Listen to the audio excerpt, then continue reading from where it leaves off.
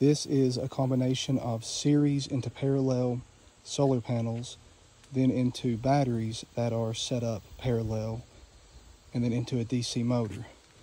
These two are series, ground to hot and hot to ground. Then it's going to run into the rest all parallel. The series here boosts the volts.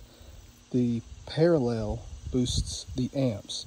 Amps are how long the device can work before it runs out of juice.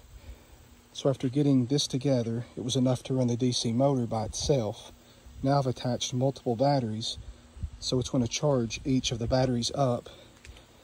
And now I've also got a diode in here. There's the diode, so the electricity can only run this way and can't run back to the solar panels, helping to not lose power.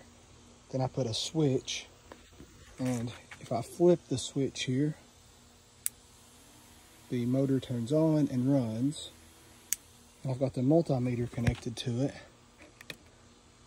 And it shows it's charged the batteries to 1.34 volts, but maybe the amps are what goes up. But if I turn this on, it was 1.34.